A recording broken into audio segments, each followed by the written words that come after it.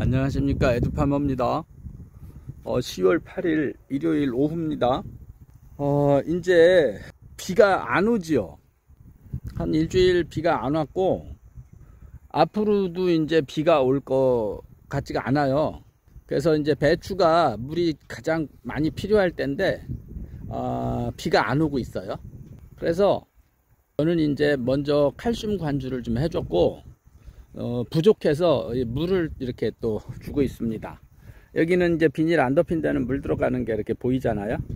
그러니까 이 비닐 속으로 어, 물을 주고 있어요. 이 배추가 아, 이제 결구될 때는 물이 엄청 많이 필요하다고 하잖아요. 그래서 비닐 속에 보니까 이제 물기가 아, 많이 말랐어요. 한 30분? 30분 정도 이렇게 관주를 할 겁니다. 어, 매주 할 겁니다. 어, 제가 뭐 주중에도 와서 조금씩 이렇게 주면 자주 주면 좋은데 음, 주중에 올 수가 없어 가지고 그냥 주말에 어, 조금 과할 수도 있는데 30분 정도 주고 주말마다 물을 좀 충분히 주려고 하고 있습니다. 배추가 통은 다 만들어졌어요.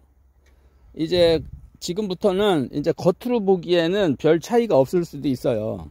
그런데 얘네들은 이제 속으로 꽉꽉 더 여무는 거죠 이런 거 좀 늦게 심은 데는 보식한 거는 이제 좀 작은데 이런 거 말고 처음에 8월 말에 심어서 잘 크고 있는 거는 뭐 이 통이 한아름씩 되고 있어 한아름이 한아름.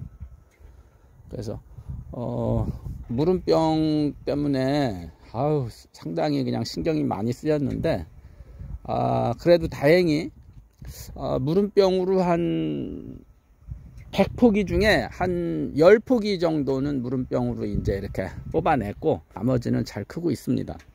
배추는 그나마 좀 이렇게 먹을 건 될 것 같고 무가 문제예요 김장무. 김장무가 절반 정도는 이제 병 걸려서 뽑아내는 거예요 이게. 김장무 뽑아내고 이렇게 알타리를 늦게나마 심은 거라. 아, 김장무가 좀 올해 참 실패했어요 농사를 늦게 늦게 심은 거 한 달 늦게 심은 김장무가 이제 요만한데 이걸 먹을 수 있을지 모르겠습니다. 그렇게 해서 어, 지금 배추밭에 이렇게 물을 충분히 주고 있습니다. 에드팜합니다.